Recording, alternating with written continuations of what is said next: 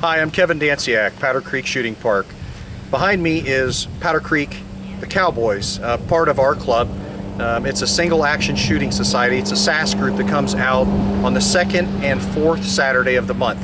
Um, the original three gun, as we like to call it. Uh, men and women dress in their attire, all their cowboy affair, come out here and shoot on the second and fourth Saturday. If you'd like additional information about Powder Creek Cowboys, please go to the website www.powdercreekcowboys.com. Thank you.